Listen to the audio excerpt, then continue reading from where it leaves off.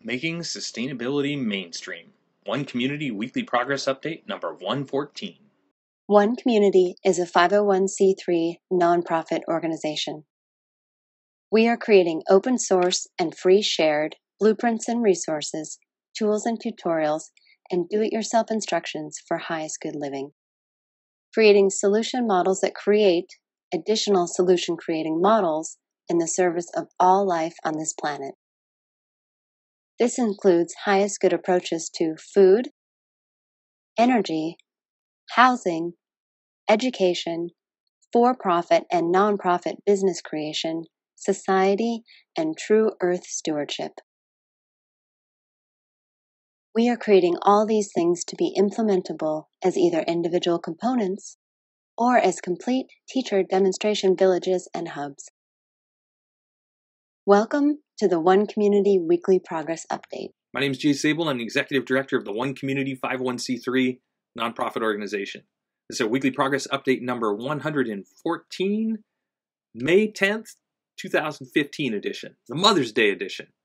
As always, I'm going to be covering our team's progress and accomplishments for the last week with video and pictures. And if you'd like more details, more specifics, links to all the open source content, you can visit our written blog.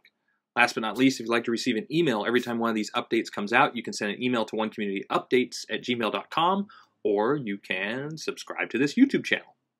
Let's jump into the updates. One community's approach to highest good education is open source and free shared, designed for all age groups, adaptable to any schooling environment, inspiring and fun for all participants, a learner teacher collaborative, and it includes U.S. Common Core standards. This week, the core team, which includes the Pioneer and Satellite members, plus those helping who don't wish to be individually acknowledged, transferred the final 25% of the web design specifics for the open source lesson plan. That brings this web page to 100% complete.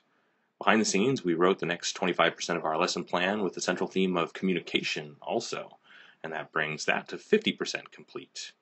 Here you can also see the behind the scenes work we did on the comprehensive evaluation assessment and mutual feedback model we're developing for students and their teachers. This week's focus was on emotional intelligence.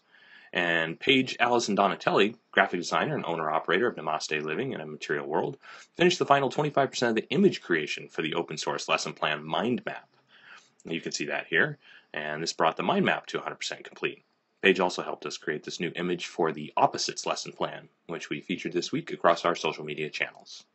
If you'd like to help with this education program, we are seeking people to finish these lesson plans. We've got them all outlined, and we're just looking for the creative minds who would like to contribute something amazing to the educational world through our open source and free shared education program for all ages and all educational levels. One community's approach to highest good food is duplicable almost anywhere, scalable for different needs, more biodiverse and nutritious, part of forwarding a global open source botanical garden collaborative, and includes nine different free shared and duplicable growing environments. This week, the core team working on highest good food finished the final social media imagery and featured our open source eggplants hub. We also researched and added two additional recipes to the open source radishes hub, which you can see here. More recipes from our food self-sufficiency transition plan that feature radishes will be added here in the future. Behind the scenes, Benjamin Sessions is continuing the creation of our six-month-long buying list for recipes for the omnivore section of our food self-sufficiency transition plan. This last week, he focused on compiling a list of sources for purchasing bulk foods. We also added two additional recipes from Sandra Solani, vegan chef and author of What's Your QB, to the food self-sufficiency transition plan. These recipes are the vegetable stir fry and the rainbow Swiss chard soup with leeks and corn. Both contain the weekly staple item of brown rice. In this area of our open source project, we are seeking permaculturalists, an irrigation specialist, a surveyor, and a chef to join our team as either consultants to the project or pioneers who will be moving onto the property with us. The one community approach to highest good housing is eco artistic home building that is affordable, sustainable, do it yourself duplicable, resource and space efficient, and consists of seven different sustainably constructed village models. This week, the core team working on highest good housing continued progress on the assembly specifics for the open source Murphy bed furniture. This week, we added additional pictures and clarifying steps to number 6.8, cutting lumber and labeling pieces for the bed box.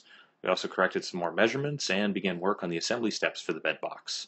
This brings us to an estimated 85% complete with this work that is part of both the Earthbag Village and the upcoming crowdfunding campaign. We also began creating the 3D specifics for teaching the foundation details for the Earthbag Village structures. You can see those here. And behind the scenes, we wrote the final waterproofing strategy for these structures. We're 75% complete with what is needed for the site in this area. Beatrice Roca mechanical engineering student, finished Revit drafts of the net zero water use bathroom layouts. You can see these details here.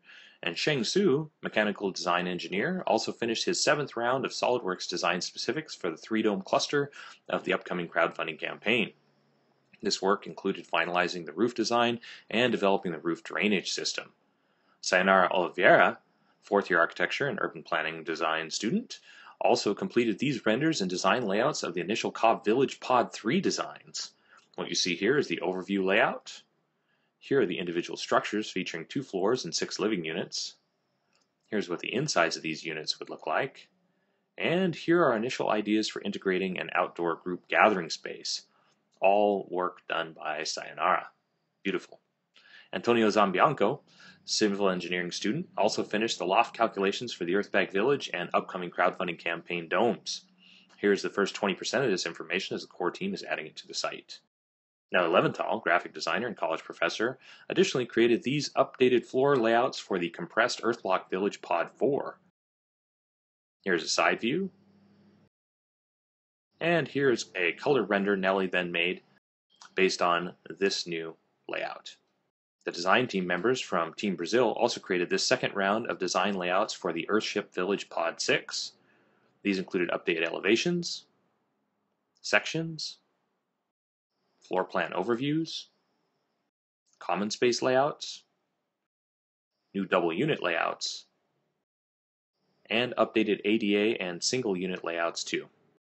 Last but not least, Scott Thomas and his Shadow Ridge Signature Architecture Program team continued their work putting the complete Earthbag Village into AutoCAD by adding in the first round of elevation details that you can see here.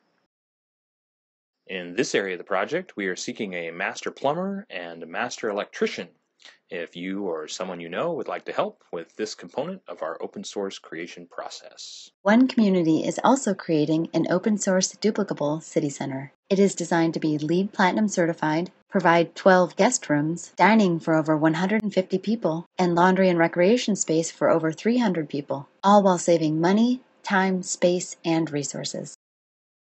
This week, Mike Balbino, architecture and urban design student, completed a redesign of the Duplicable City Center living dome and stairwell and elevator areas, along with a broad diversity of other AutoCAD updates that will improve materials efficiency and make it easier to build. You can see these changes here. Behind the scenes, Mateos Bajerto, civil engineering student specializing in hydraulics, also finished the rest of the calculations and design details you see here for the Duplicable City Center water catchment and storage. We'll now begin editing and open sourcing these specifics on the website. The One Community approach to highest good society is globally focused, individually enriching, cooperative and collaborative, includes a highest good network and application, four different economic models, and combines fulfilled living and true earth stewardship for the benefit of all people and all life on this planet. This week, the core team began formatting and transferring the work of Binru Chen to the website. Binru is an accountant specializing in audit and financial reporting, and her work that we're open sourcing now is sharing the tax considerations and strategy of the highest good economics component of building teacher demonstration hubs. We'd say this developing work is now about 10% complete. Yusuf Suleiman, lawyer and member of the Nigerian Bar Association, also helped us create this first formal draft of our community member home and home shares ownership agreement. Once finalized, this document will be added to the One Community legal page as an open source template for others wishing to form similar home ownership agreements with their members. In this area of the project, we're seeking graphic designers, web designers, and technology specialists, videographers, and building a highest good legal team. If you or someone you know fits these descriptions and would like to join our highest good society creation process. One community is making sustainability mainstream. The way that we are doing this is through open source and free shared tools, tutorials, resources, blueprints, and do it yourself instructions for all aspects of sustainability.